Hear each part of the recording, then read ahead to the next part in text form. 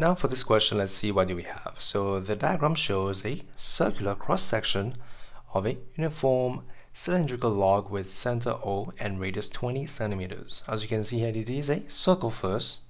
That's the first thing we know. And the center of the circle is O. Okay, good. And the radius is 20. So that's these are the given information that we have at first. Again, these are just big words to scare you, but the main idea is that this is a circle, center O and radius 20. Good. Now we have the points A, X, and B. So A, X, and B. They lie on the circumference of the circle and AB is 32. So this length of A to B will be 32. Okay, good to know. Now, what are the things that we can kind of derive from this? So by observation, you can see that OA and OB, they are both radius, which means these two have to be same. Right, that's the first thing we can kind of derive.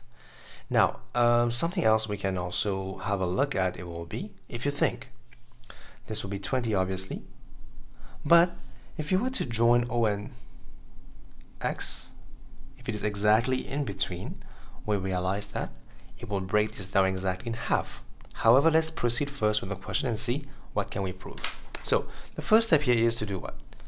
Part 1, we have to show the angle AOB so we have AOB, so this angle here is given by 1.855 radians. So pretty easy. If you guys have a look, if you take out the, the triangle, we have triangle AB and then O here. Right. This is the angle that I'm trying to find.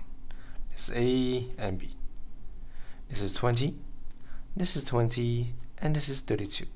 Now, we have seen this many times before the way of thinking is if you know all the three sides of a triangle and you're trying to find the angle in between of the two sides, we can use the cosine rule. So that will be a formula you guys have to know. That will be cosine of the angle. That will be 20 square plus 20 square, the sum of the square of both sides, and minus 32 square, the difference of the square of the opposite side of the angle. And then divide by 2 times 20 times 20. So this is a formula you guys have to know for the cosine rule. Again, definitely memorize this formula that will help you to find the answers. Let's first simplify this. That will be 20 square plus 20 square minus 32 square divided by 2 times 20 times 20.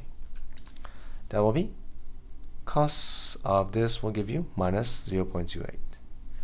Now obviously here we have to find the angle in terms of radians. So let's have a look. That will become cos inverse for the answer that will be as we can see that should be uh, angle O was found to be 1.85459 which means correct to three decimal place that should be indeed 1.855 okay so that will be your answer for part 1 shown as required. That is the value of the angle. Now for part 2 we have to find the area of sector AXBO so first thing is where is AXBO? As we can see, A is here, XBO. So we have to find the area of this whole thing. Now, usually how do you find area of a sector? So we know we have to use the formula that we know.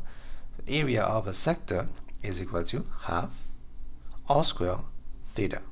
Theta is just the angle in between.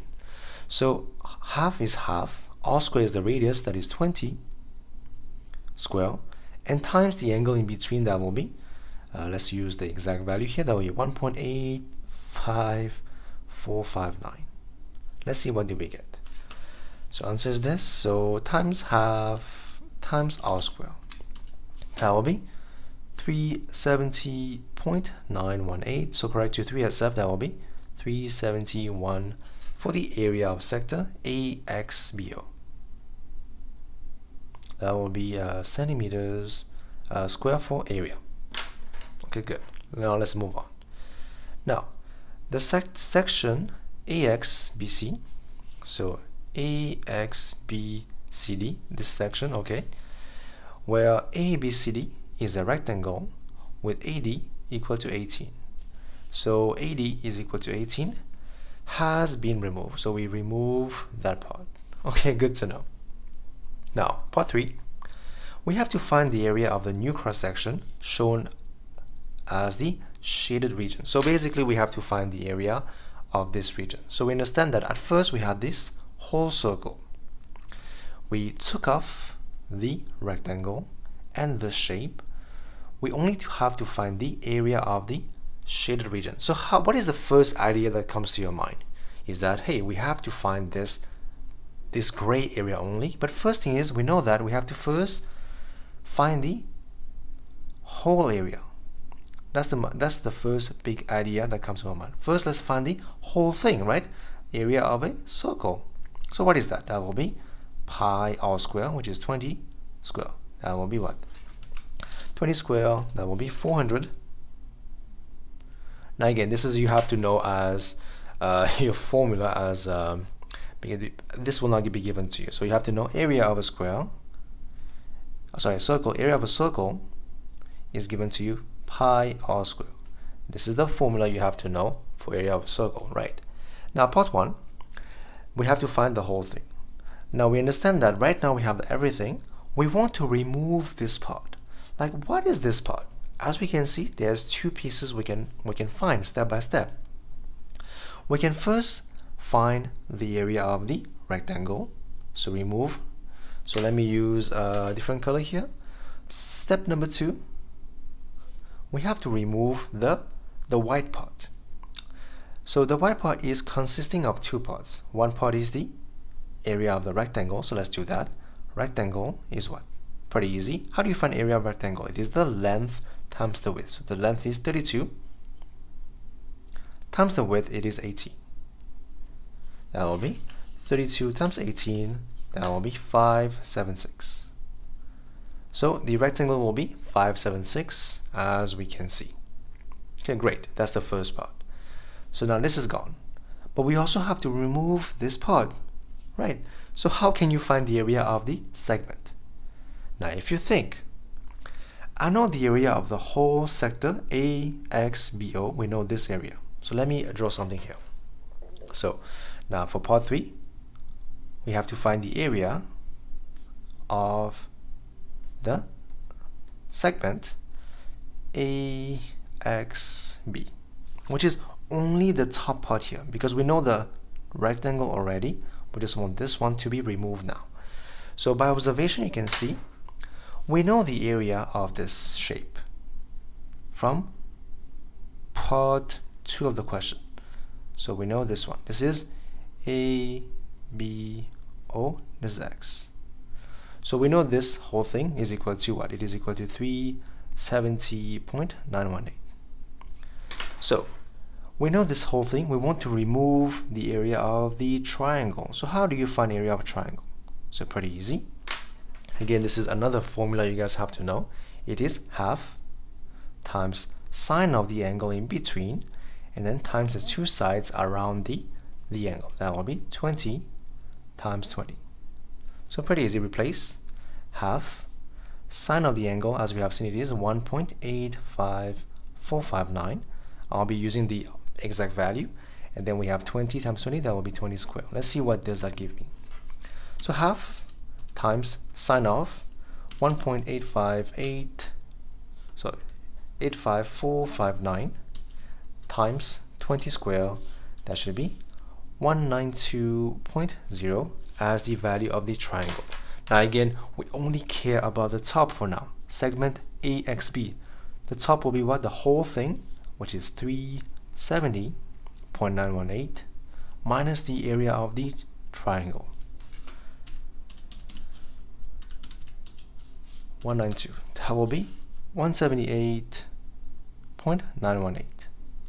Okay, great to know. This is the area on top. Now, it is not done yet.